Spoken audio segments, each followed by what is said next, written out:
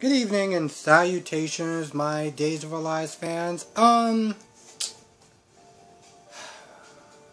said this my other two reviews, but I'm gonna say it's in this one because um, you know, I know sometimes people watch certain shows and not the other shows as far as days, and I mean as far as Bold and Beautiful, General Hospital, and stuff like that. Um, so I had a date today, and um, well, it went really well. Had a great time with an amazing woman. And um, it ended later than I thought it would. And then I got home later than I thought it would, and everything just kind of snowballed. So apologies for it coming out as late as it did, as late as it is, and I do appreciate the people that still do watch. Um, I'm gonna be honest, not really a lot actually happened in this episode. Um, Philip was, you know, pulling out the stops with Chloe, you know. Um, bought her some flowers and stuff like that. I mean, listen, I know that I called this man, I, I called this man a man child, okay? I'm not entirely taking that back, but I mean, you know, when it's time to sit there and, and, and really, you know, show a woman some romance, some class and stuff like that, like put in some effort get flowers, you know, stuff like that. God puts in that work. I gotta respect that. Um, talked about that. They talked about um, well, actually talked to they talked about that, and they talked about well, Philip um told Chloe about Gabby and Jake being the ones that's trying to oust him. Um, say he got it from a source, and the whole keylogger thing and everything like that. The issue comes in from the fact that Gabby Chic is making him a lot of money. So it's not. On top of that, he doesn't have any proof. He doesn't have any proof, and Gabby Chic is actually making him a lot of money. So it's one of those things where he has to sit there and kind of bide his time and wait till he gets some proof before he can really sit there and act. If you know he fires Jake, then that's just going to tip off Gabby. So it's one of those things you got to kind of just take them both out at the same time. Um, but, you know, with that being said, he does, you know, own up to the fact that he made a mistake with, with Brady. I mean, he said that yesterday, so I don't understand why she was asking him to do it again or whatever. But, um, one thing I did like was that when they were talking and Philip was talking about how he made mistakes and stuff like that back in the day, and she was like, yeah, you know, we both made mistakes. I was like, good, good.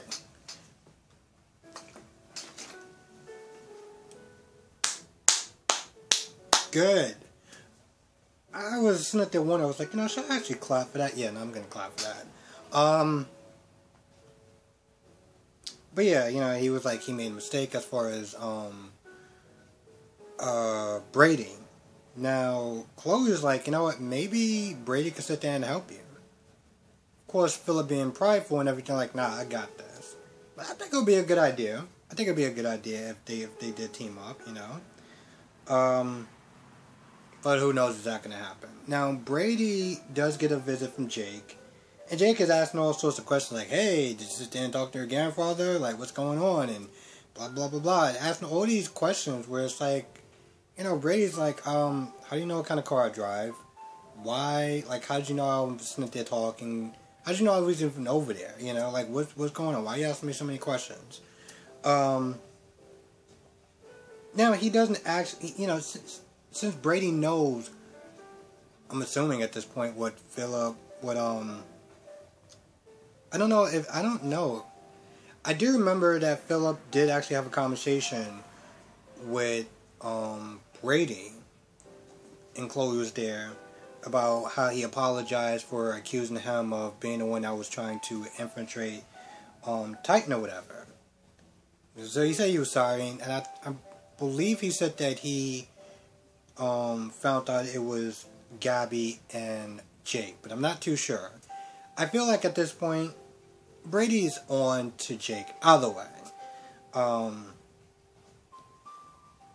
but he kind of just rushes him out the house, rushes him out the house, and like the snake that Jake is, because no, honestly, to tell you the truth, now I'm sitting there looking at this whole thing. I'm like, you know what, Gabby and Jake are perfect for each other because they are both, well, snakes.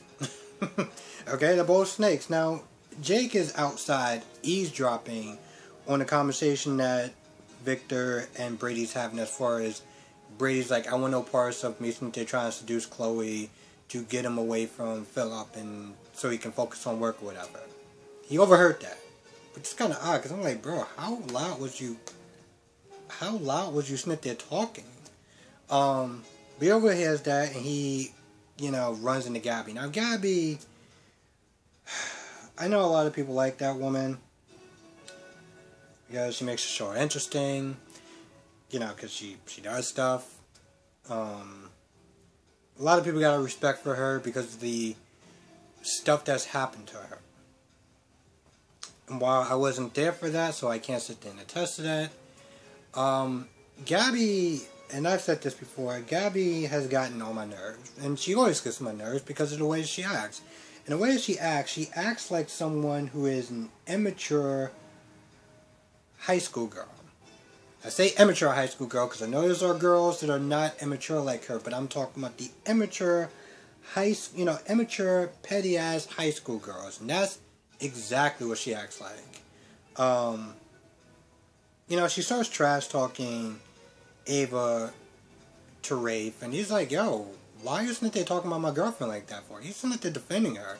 And she's all like, ah, well, how could you sit there and say that? You're scraping from the bottom of the barrel. Just being completely disrespectful. Ava walks in, and she just continues on like she's not even there. And then she starts talking about, oh, well, this is my house. And, you know, Rafe was like, uh, I'm sorry, who pays for this house? Oh, yeah, no, it's me. Um, you know, Gabby's all upset because EJ stole, well, I don't know if I can sit there and say stole, but he bought the house back, so she's all upset with that. And, you know, she's all like, oh, well, this is my house. I grew up in it, and blah, blah, blah, blah. I'm like, I'm so glad Rafe put her in her place. Like, yo, uh, who are these bills naming? Yours? Nope. Looks like mine's. Um, you know, she makes he makes her apologize to um Ava. And of course she's all like, Well, you know, she said mean stuff to me too. I'm like, Gabby, how old are you? like seriously. She finally apologizes and then she says something sarcastic or something snarking, like walks off. I'm like, you know, Gabby, I, I guess at this point, I wouldn't expect you to be anything other than the.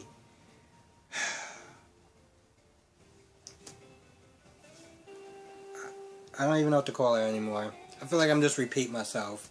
But anyway, she walks off, and you know, at some point, Ava's not there thinking about, you know, how she um, told Philip the information that's going to pretty much screw over Gabby's plan. So she's happy about that. Um, while Rafe is to say, "Oh, well, I, I, I'm, I wish that um, Gabby could take the high road like you." You know, at this point, I, I, I'm still gonna take Ava over Gabby. So that's just well. you know, I have to tell you the I had to sit there and, and rethink that. I don't know. Gabby gets on my nerves, but Ava did something that I feel that if Ava was a man and Ava did that to someone, well, that person would be canceled and probably kicked off the show. But for some odd reason, because she's a, you know, never mind. Never mind, I'm not even going to go there. Now, Gwen does go and see um, Xander in jail, and she's, you know, I mean, she she feels bad because you know he's in jail for something that you know kind of spiraled out of control of her own making, and him they're trying to pretty much save her. So you know she's like, I'm gonna confess, and you know Xander's like, I don't think that's a good idea. Don't do that. Um, EJ already has a judge in his pocket, and you're not gonna really do much except for you know like you know she was there talking about how she's going to confess to being like a sex worker or whatever and you know then it was like that's still like that that's that's still a crime still crime um And Xanderson to talk about how he doesn't really have a lot of lawyers is going to help because, you know, once they find out that EJ has something to do with him, they don't want no parts of that. But Justin walks in, and long story short, they find out that Justin's, you know, Bonnie's judge is the same judge that is pretty much in EJ's pocket. Now, Gwen was in rare form. She actually acted like the scheming, you know, scheming person that she she once was. Like she just dressed up that power out of nowhere, and she's like, you know, she, in a lot of ways, convinced Justin that it would be a good idea for them to help each other. Um, take out the judge, free Xander, and help Bonnie. You know, because she's like, yo, listen, at the end of the day, you have an uphill battle. I think this is what her second murder now. And this judge may decide, you know what, I want to throw her in jail anyway because I don't really care about the law. I mean, I care about what works for me, so clearly I don't care about the law. It seems as though when Justin leaves, even though Justin didn't sit there and say yes, he didn't say no other. So, you know, hopefully Justin will sit there and come through. I mean, let's be honest. At the end of the day, it is in his best interest because if he goes against, he goes, um, you know, towards that judge, and the judge, you know, decides, you know what, I'm not doing it. I'm corrupt. He's screwed. On top of that, when he left, he talked to Rafe, and you know, he was like, "Yo, where's Bonnie at?" And Rafe was like, "Oh, the judge said that, um, you know, no visitors because of bad behavior." And even Rafe was like, "Yeah, I don't know, like, what she did, but it's Bonnie, so could have been anything." And that's when Justin was like, "You know what? maybe Gwen and Xander actually have a point. So I think he's going to come around. And yeah, so at some point, um, Gabby runs into Jake. And, you know, Jake tells Gabby about the conversation he overheard between Brady and Victor as far as Brady turning Victor down as far as, you know, seducing Chloe. And then Gabby was like, oh, well, you know, we're going to use Chloe to take down Philip. And I'm like, wow, you really are a piece of work. But I guess that's, you know, that's the tell truth. I, I feel like at this point, especially for the people who are Gabby fans, this is just power for the core. This is power for the core. This is typical Gabby. And so, in a lot of ways, as much as I don't like her, I guess, you know, I, I can't sit there and knock her for her being her true nature. Uh, well, for acting in her true nature. And the last scene is with EJ and Nicole. So EJ talks to Nicole, tells about the whole Xander situation. And somewhere it gets to a conversation that they start talking about Rafe and how Nicole still has feelings for Rafe. I mean, yeah, Nicole still has feelings. You know, Nicole has feelings for Rafe. Um, and you know, Nicole's like, listen, I just kind of put myself out of the equation. You know, because Ava really likes Rafe, and I want them to be happy and to give their relationship of, of you know, a chance of working. And so EJ was like, you know, apparently Nicole is his favorite ex. Um, like, you know what? Listen, as much as I would want to sit there and encourage you to, um, you know, go after your man or follow your heart, with Ava, um, since she may revert back to type, it's probably not a healthy decision to actually do that. Then towards the end, he asked her out to dinner.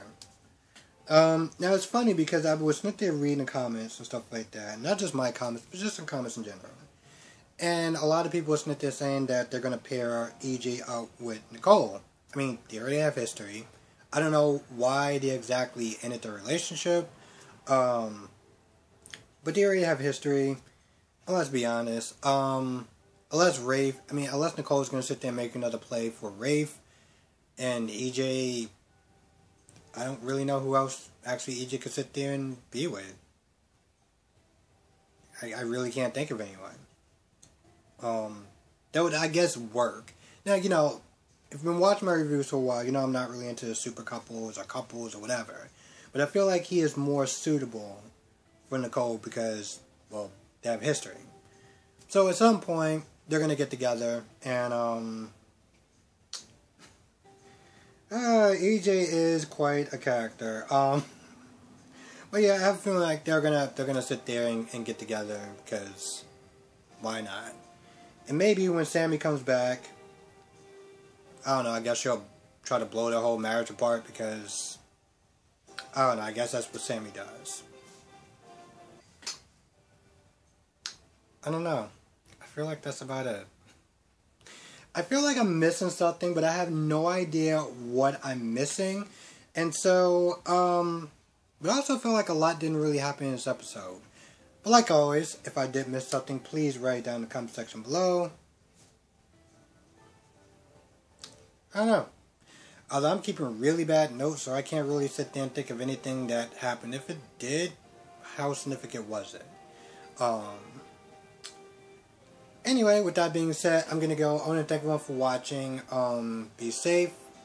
See you in the next video.